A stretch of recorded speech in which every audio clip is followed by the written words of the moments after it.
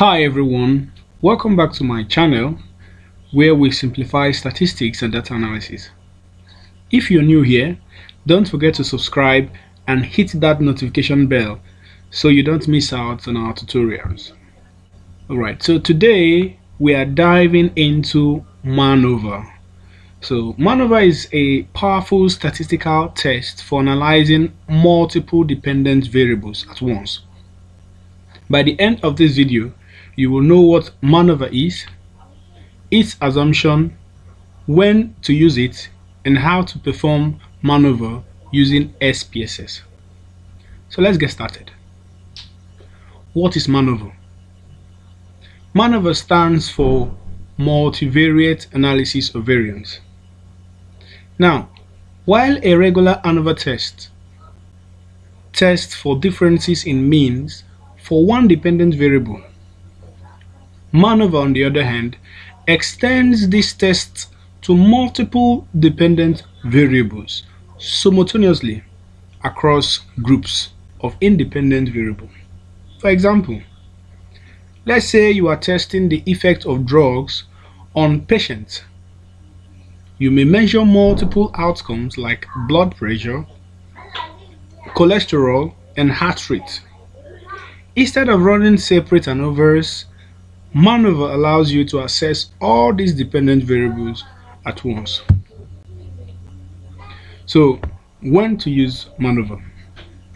So, you should use MANOVA when you have one or more independent variables that are categorical, and two, when you have two or more dependent variables that are continuous and related to each other. So continuous indicates you are having um, both whole numbers and uh, fractions and decimal numbers. So, so those are continuous. Um, uh, the, when you say variables are continuous, that's what it means.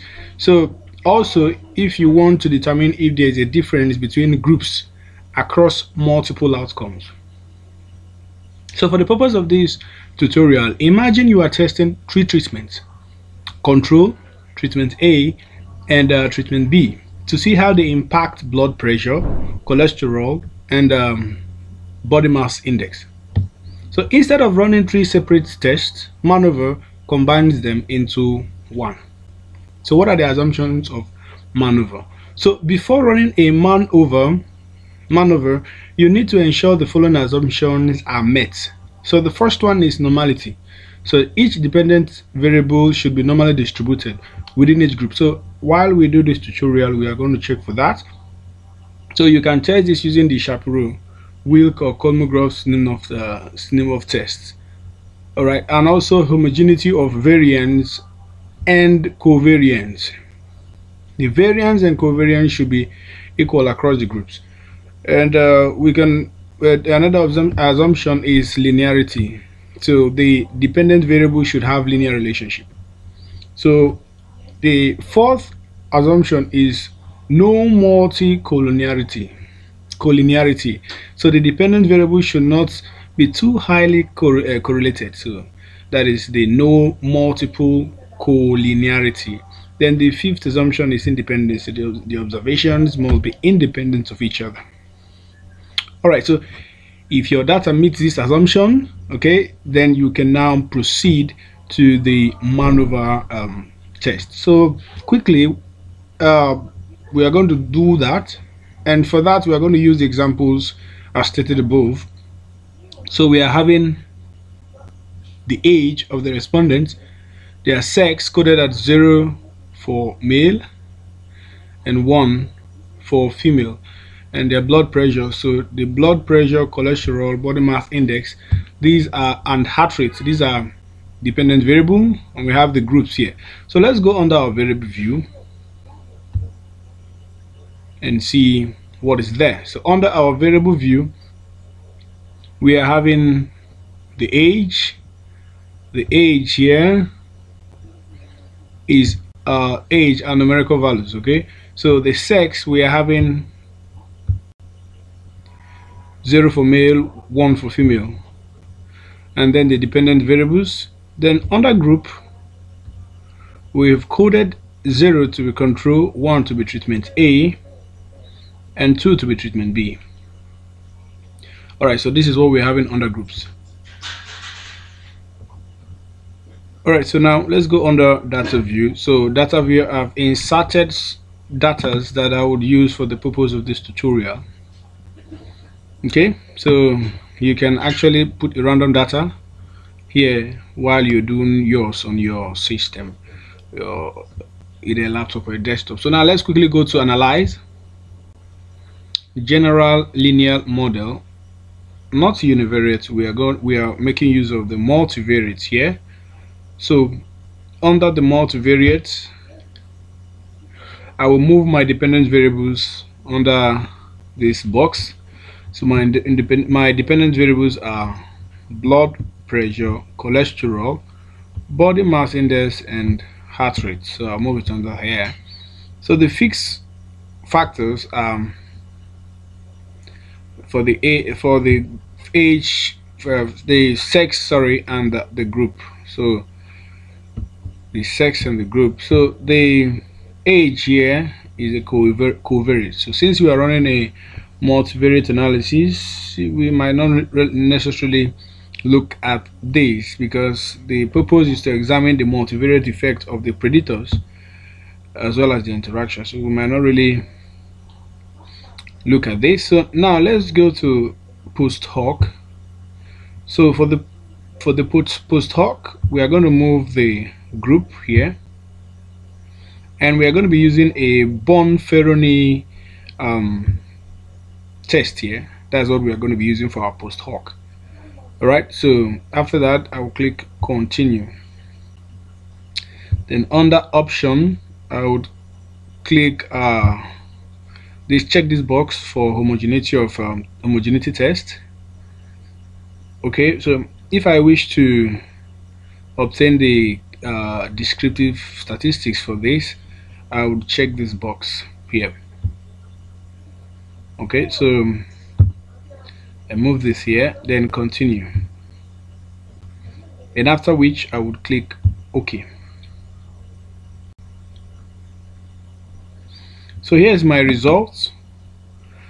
This is my descriptive statistics. So and um, if I go down here I will see the Levene's test of equality of error variance. So let's quickly interpret this. From the Levene test, you would see that the blood pressure, cholesterol, body mass index, and heart rate, you see that, look at the p-values here, they are all greater than 0.05. And under it, you see that test the null hypothesis that the error variance of the dependent variable is equal to is equal across groups. So that is what the null hypothesis is saying.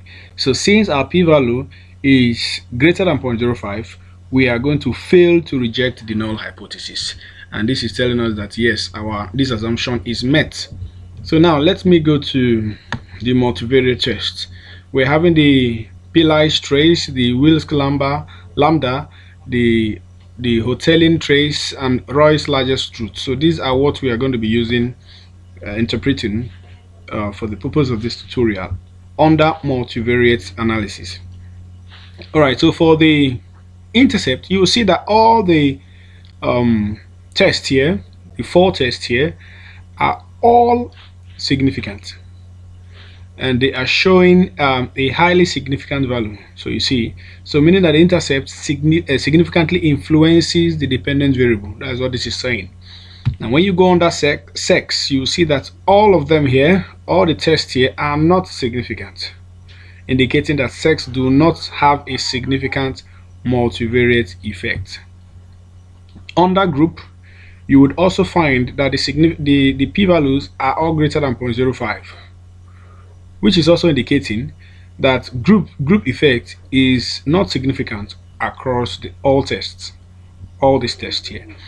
Then you go to the interaction the interaction between sex and group you would now see that we have that the p-values are slightly less than 0.05 so this is telling us that the interaction between sex and uh, group has small but statistical significant multivariate effects on the dependent variable.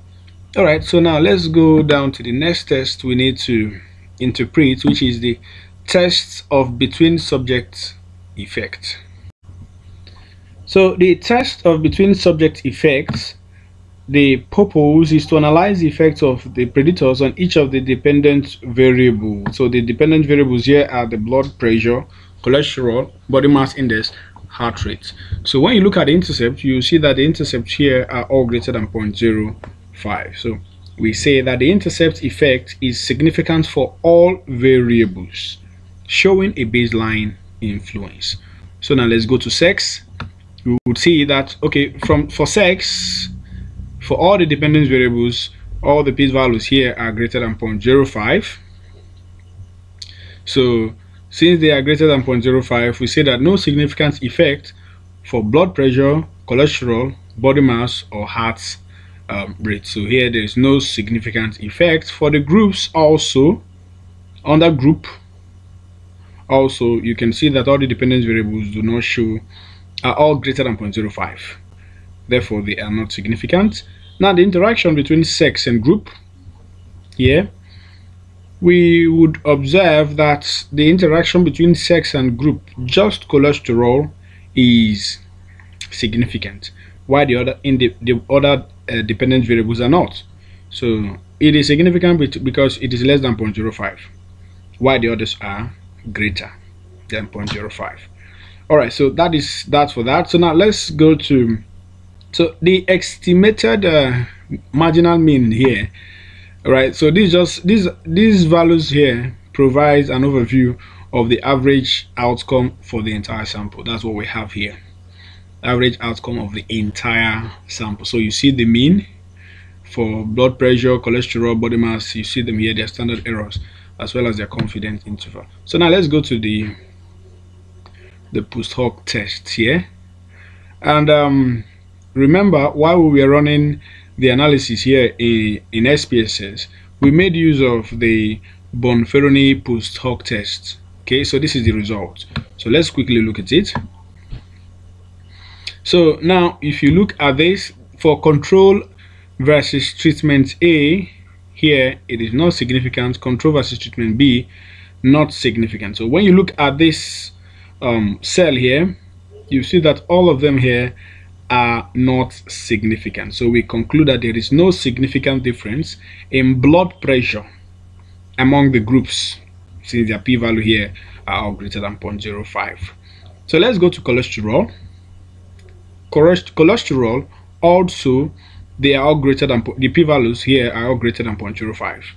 So for cholesterol, we also say that no significant difference exists in cholesterol levels between the groups. So now let's look at body mass body mass let's look at it okay? For body mass also they are all greater than 0.05 so we also conclude that body mass index differences across the groups are not statistically significant. Then let's go and look at um, heart rate. So for heart rate okay you can see that they are all here greater than 0.05 and uh, therefore we say that heart rate differences between groups are not uh, significant. So an overall summary of this post hoc, test will be for all four independent, for, sorry, for all four dependent variables. So the variables include the blood pressure, cholesterol, body mass index, and heart rate. The pairwise comparison using our, our Bonferroni test do not reveal any statistical significant difference between control treatment A and treatment B groups. This indicates that the treatment did not produce measurable differences in the observed variables. So, so that is that is that for the interpretation. If um, uh, okay, so that is that for the interpretation. So we can actually take a we can take a summary of all the findings here. So um, from the results here, you would observe that um, the interaction between sex and group significantly impacts cholesterol cholesterol level but not the other uh, dependent variable. So that is one of the observations we observed from our data. Also neither sex nor group individually has a significant effect on any of the dependent variables. So we can see that here okay now also the intercept. Here the intercept consistently is consistently significant across all tests all tests indicating a strong baseline influence. So you see that the intercept here is significant across all the dependent variables. Okay?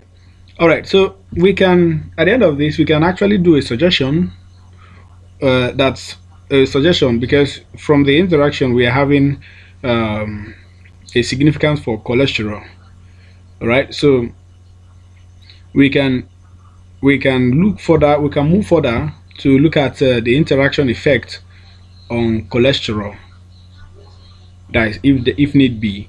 All right so why the other dependent variables uh, from the result here are having little or uh, don't the influence here are just very little okay?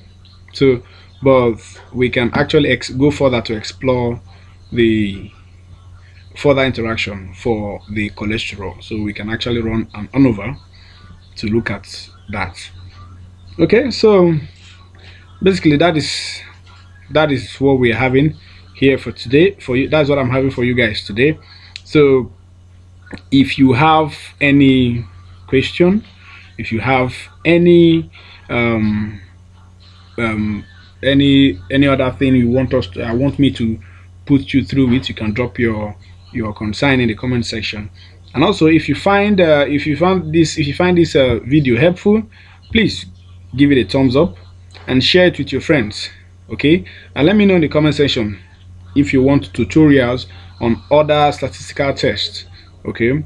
So and also do not do not forget to subscribe for more practical data analysis. So thanks for watching and um, see you in the next video